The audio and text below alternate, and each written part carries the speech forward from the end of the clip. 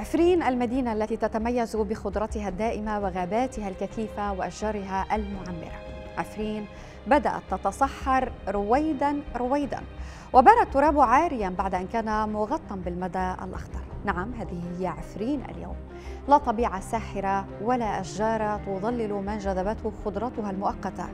والسبب وبحسب مقاطع مصورة تداولتها مواقع التواصل الاجتماعي لعناصر قيل إنهم يتبعون للجيش الوطني وبدأ ذلك من خلال لباسهم وهم يقطعون الأشجار على ضفاف بحيرة ميدانكي بريف عفرين. ويضعون أخشاب هذه الأشجار في سيارات نقل كبيرة الهدف غير معلوم. أهو للتدفئة ونحن في وسط الصيف. أم هو للبيع لمناشر الخشب التي قد تكون لأحد أمراء الحرب في عفرين؟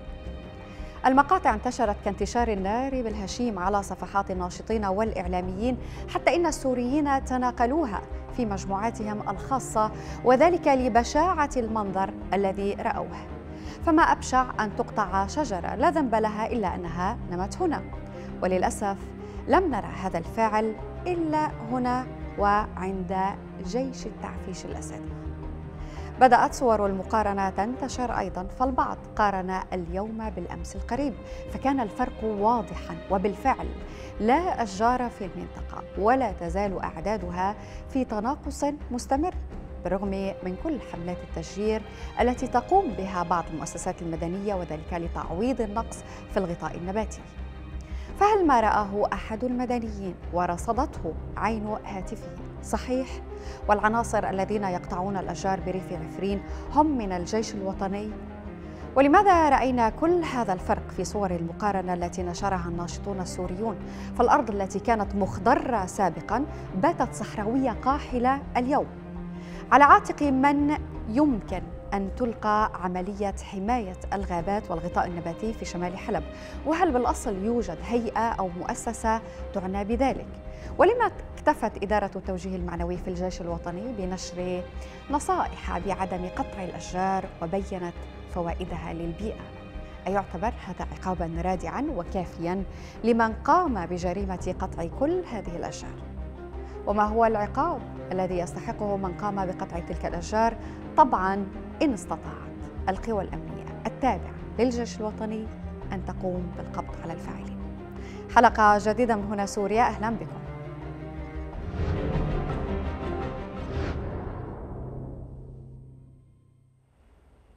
حول صور قطع الأشجار التي وصلت إلينا من عفرين وتداولها السوريون على وسائل التواصل الاجتماعي. نستضيف اليوم رائد الصالح مدير الدفاع المدني السوري معنا من إسطنبول ومعنا المدون والناشط الإعلامي معتز ناصر من مدينة الباب. مساء الخير وأهلا بكما.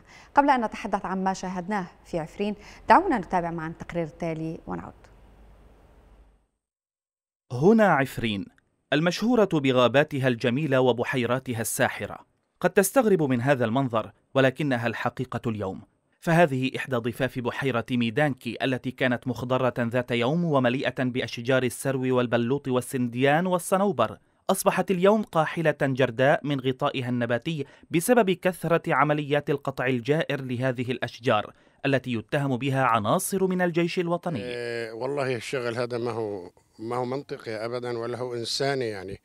لأنه هذا منظر حضاري وكانت العالم كل أسبوع تيجي هون تتدرب الشجر وتبرد على قلبها بالبحيرة بحيرة كفر جني.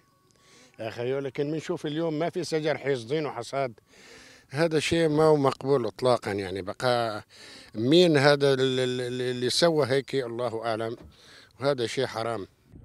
دون مراقبة أو محاسبة يأتي الجميع لقطع هذه الأشجار دون مراعاة للظروف الصحية والبيئية الناتجة عن هذا القطع. وفي ظل ضعف المبادرات الداعية لحملات التشجير في المنطقة يرى البعض أن الغابات والأشجار بريف عفرين ذاهبة نحو وضع أسوأ مما هي عليه اليوم ولن يبقى فيها مستقبلا مكان ليتظلل به الزائرون. والله هذا كان شجر شجر يعني عم يوحد الله والعالم يعني كان شجر بكثافه وكانت تتظلل بفيته ومبسوط على العالم خيو لا يبرد الوقت هيك شوي بينزل على هالبحيرة. هلأ ما بقى حدا يحسن يجي لأنه البديجه بديجه المغرب.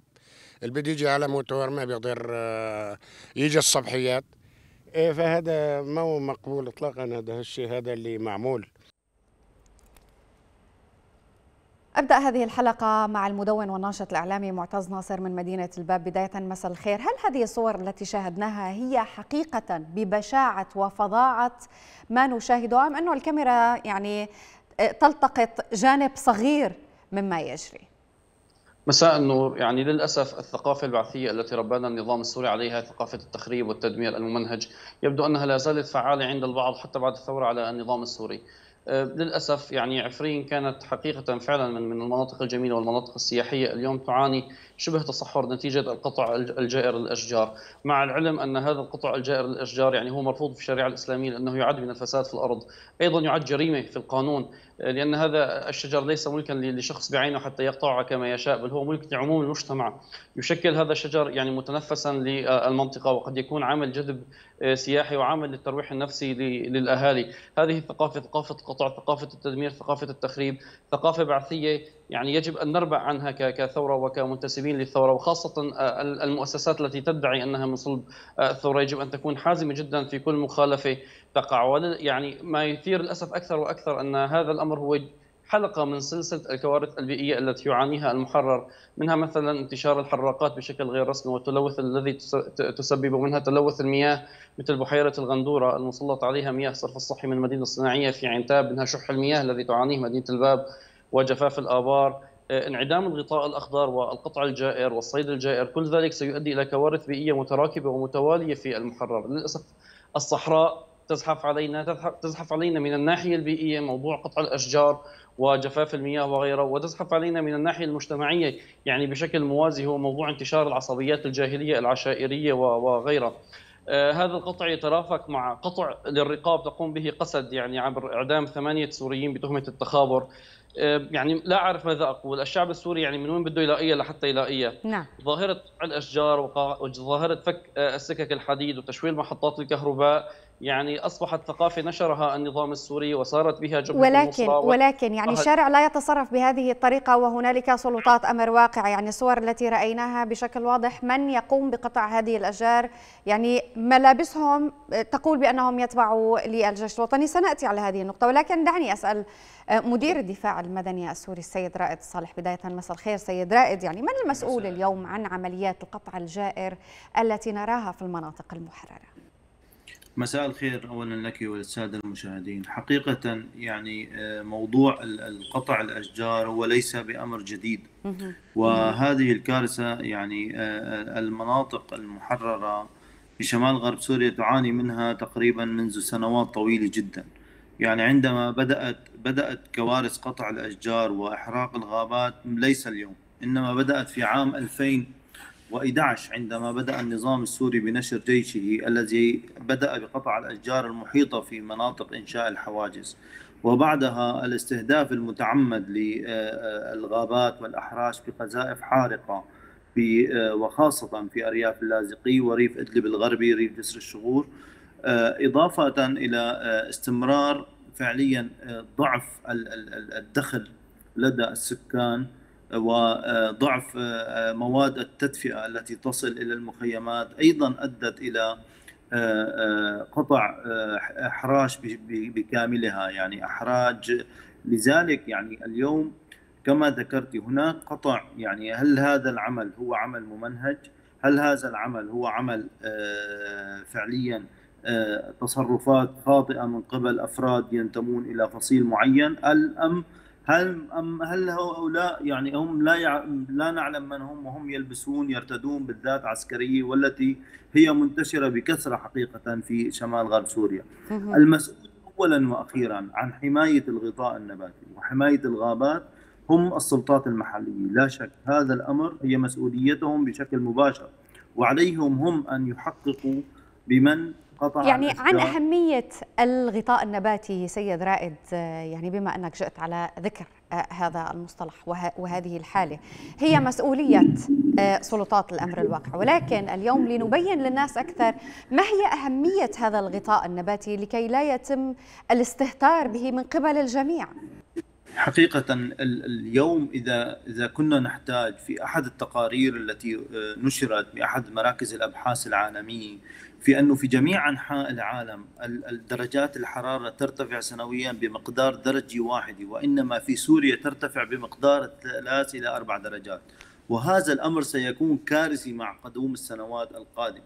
يعني نحن خلال الفترة القادمة آه، في الفترة السابقة عفوا أطلقنا عدة حملات للتسجير ولكن لن تفيد ولن لم تكن مجدية بالشكل المطلوب بسبب ال ال ال يعني إذا أعدنا ردت أن أذكر أسباب القطع دعيني أذكر الآن فوائد الغطاء النباتي، نحن الآن سوريا تعاني من أزمة جفاف منذ 2006 وليس من الآن.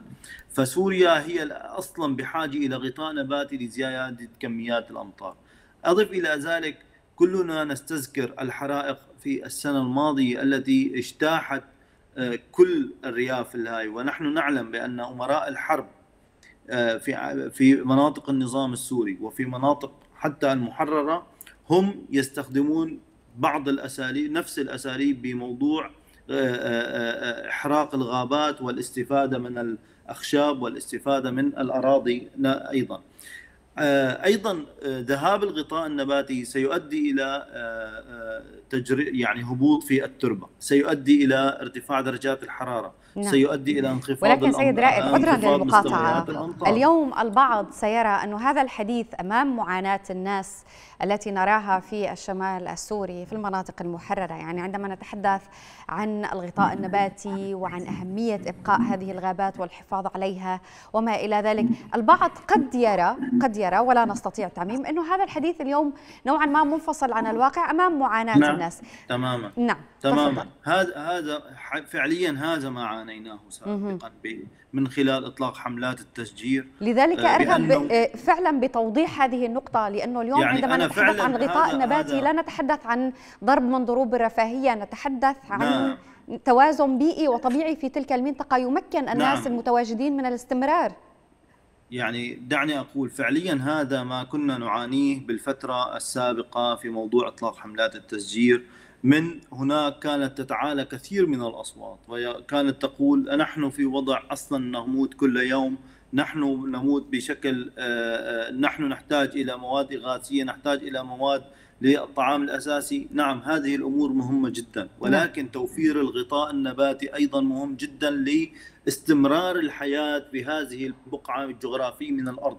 يعني نحن جميعا يعني أنتم مقيمون في تركيا وأنا يعني أيضا آه، مقيم في تركيا. نعلم حجم الغابات الممتدة في تركيا وحجم ضخامتها ولكن تركيا مع ذلك أعلنت عن زراعة مليارين ونص آه، شجرة زيتون آه، مليارين شجرة حراجية خلال السنوات العشر القادمة.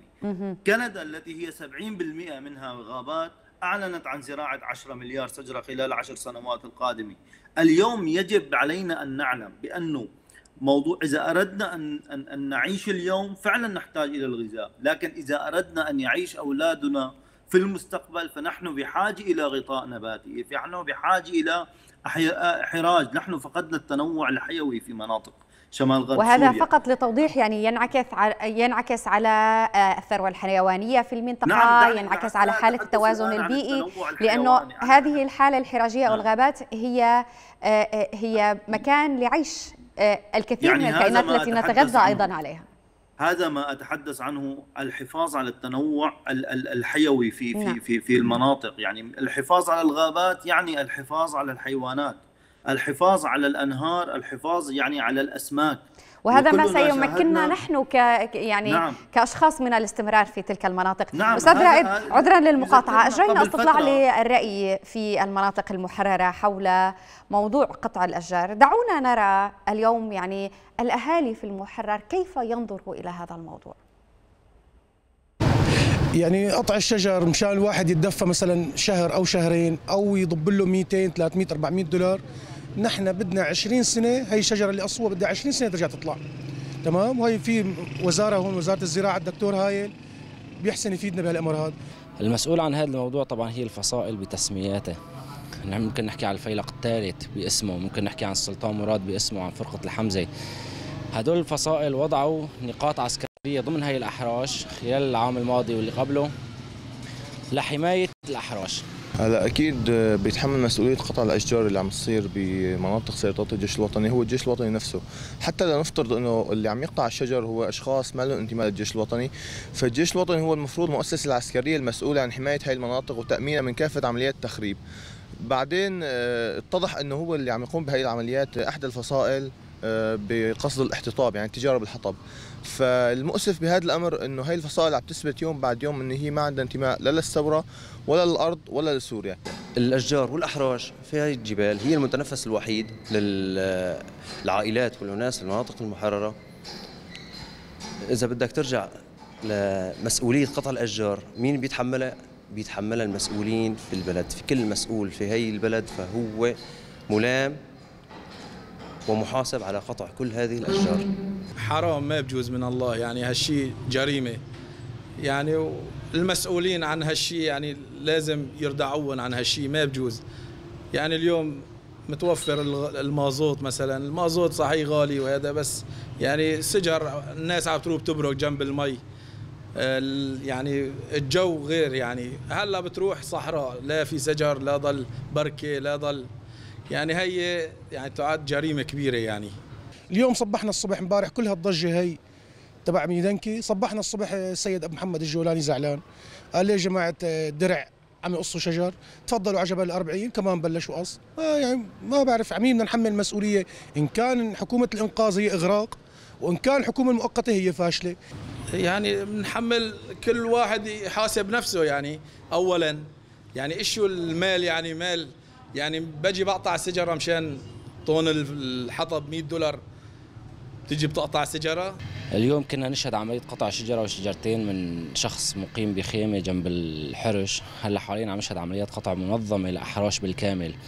هذا الموضوع خطير. هذا الموضوع بغض النظر عن أي شيء هو دليل على فوضى كبيرة دليل على عدم وجود أي قوانين ما حدا سائل على شيء.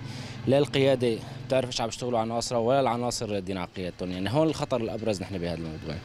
اللي عم تطالع مقاطع تنفي فيه إنه وجود عمليات القص. يعني كلنا بنعرف إنه أنت ممكن تقص غابات بمساحات هائلة. لابد بوجود بعض الأشجار آه، متبقية. بيطلعوا بيصوروا مقطع إنه لا نحن بننفي عمليات القص وكل يلي يعني بمعنى إنه كل يلي عم يحكوا كذابين أو مغرضين. تيجي بتقطع سيجاره يعني والله مصيبة يعني. ما ما بجوز شرعا قولا واحدا ما بجوز.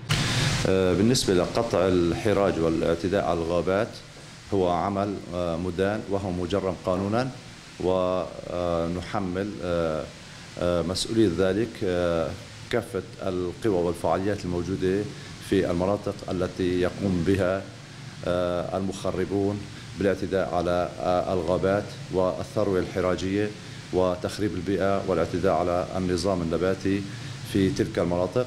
وهذا الأمر منوط بقوى الجيش الوطني المتواجدة في المنطقة والوحدات الشرطية والمجالس المحلية وعلى القضاء أن يأخذ دوره ويقول كلمته في هذا المجال ويقوم بمحاسبة من يعتدي على الغابات والحراج والبيئة في تلك المناطق.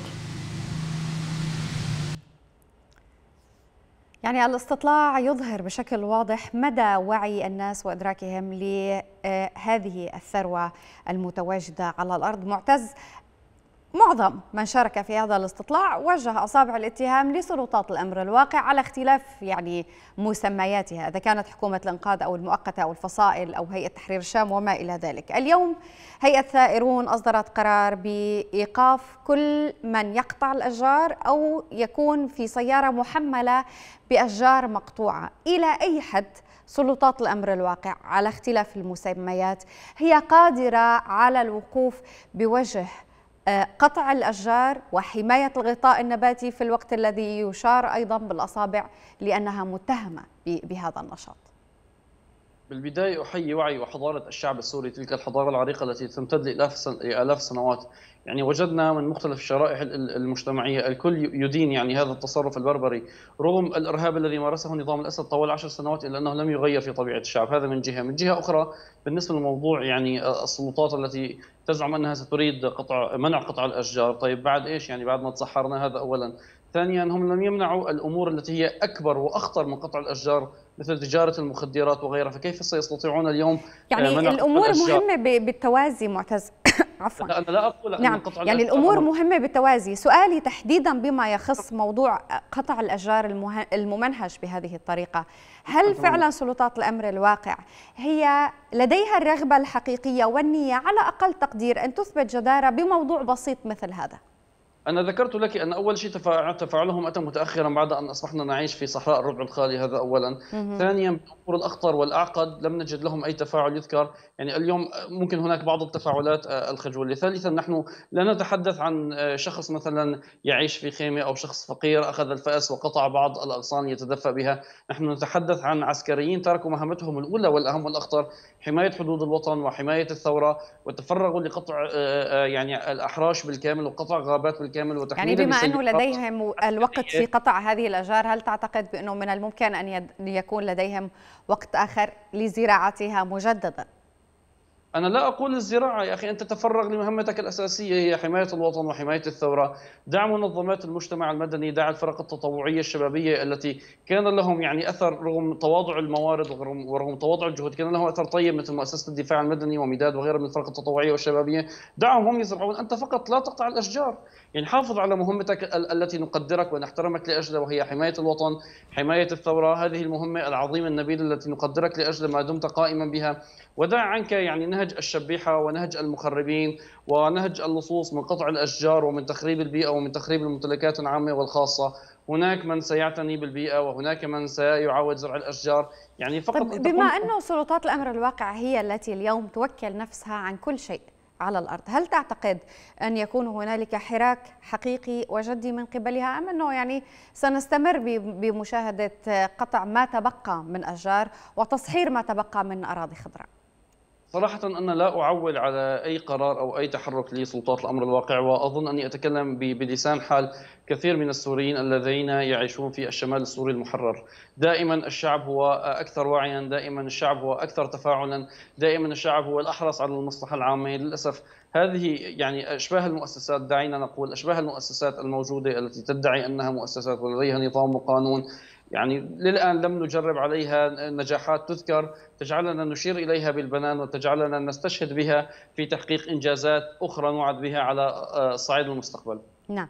أستاذ رائد يعني الدفاع المدني هو دائما خط الدفاع الأول للسوريين ومن يتحمل حقيقة مسؤوليه كل ما يجري على الأرض إن كان هنالك قصف نرى الدفاع المدني أول من يهرع لإنقاذ المدنيين وإن كان هنالك حرائق. أيضا نرى الدفاع المدني في خط الدفاع الأول. اليوم عمليات آه، قص وقطع الأشجار بهذه الطريقة.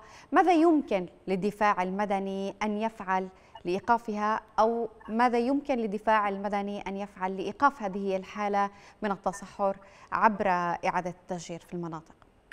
هلا فعليا نحن لدينا عدة أمور يمكن القيام بها. أولا آه، أولا العمل المنوط العمل الأساسي المنوط بنا وهو الاستجابة السريعة لحرائق الغابات. ونحن فعليا من بداية شهر آه، آه، آب إلى الآن استجبنا لأربعين حريق للغابات في مناطق عفرين ومناطق الريف الغربي لجسر الشعور.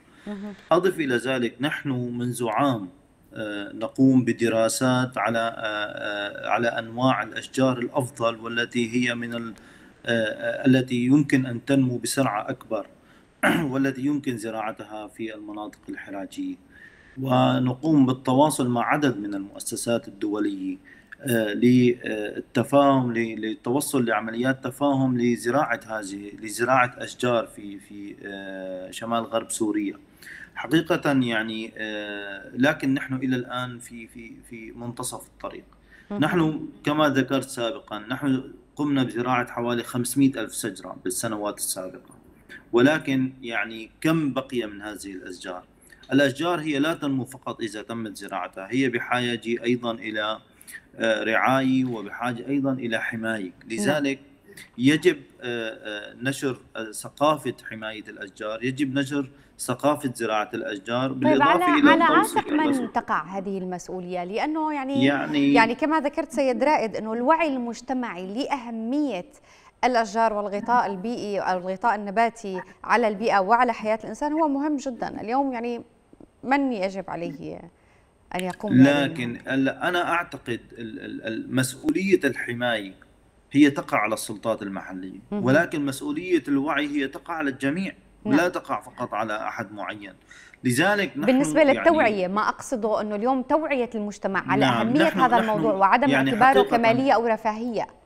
كما ذكرت نحن نخطط الآن. يعني في الدفاع المدني نقوم بواجبنا نرى بأننا مسؤولون بشكل مباشر عن إعادة الغطاء الحراجي والنباتي على مناطق شمال غرب سوريا. لذلك نحن نقوم الآن بعملية تخطيط دقيق لإطلاق حملة آه، مدروسة وتأتي آه، بنتائج لموضوع زراعة الأشجار. يعني نحن الآن يعني سابقا قمنا بزراعة كثير من الأشجار في كثير من المناطق حقيقة ولكن نعم. كما ذكرت يعني أنه آه، آه، ممكن لأنه شخص واحد غير واعي هو يقوم بتدمير عمل كل الفرق التي يمكن أن تعمل لذلك يعني إذا كان هناك راعي مثلا يرعى الأغنام في منطقة حراجية في في لأشجار زرعت حديثا فإنها سيتم أكل جميع الأشجار خلال يوم واحد التي تم زراعتها على مدار أشهر. نعم. لذلك نحن بحاجة إلى تكاتف الجميع.